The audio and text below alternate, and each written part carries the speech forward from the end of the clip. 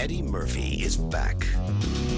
But this time, he's looking for a missing child, a golden child.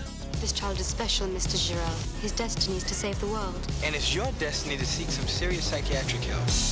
Okay, man, ask you boys a couple of questions. By the time he finds you, it will be too late.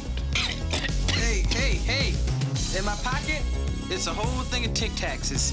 Take as many as you like, please.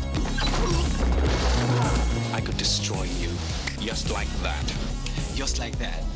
Mwah, You're wonderful. Nobody be alarmed. I'm Ma'am Chandler Jarrell, American Stolen Artifacts Finders of America. He's irresponsible. A bed. Is that a bed? He is a careless, thoughtless, undisciplined fool. I should be punished. I should be purged. I should be flogged. You are the chosen one. You will find a child. Well, I do my best. I'm so afraid of the dark, too. I really don't like your attitude. You know, this is a nice jacket. It's a Morris Day feel, and it looks good on you. And the boots, smoking. He's got a firm grip on reality. Where he's going, he'll need it. How'd you do that? What was that with the flip? You must carry this glass of water without spilling a drop. Who are you, Monty Hall now? This is a piece of cake.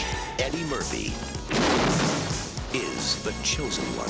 Well, how many people have survived this test? None. None. The golden child. None.